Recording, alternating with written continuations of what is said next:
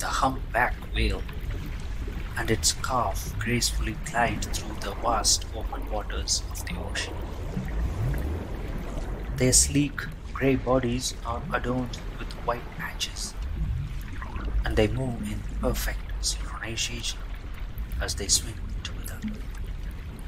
The mother gently guides and protects her calf, teaching it essential survival skills and nurturing a strong bond between them.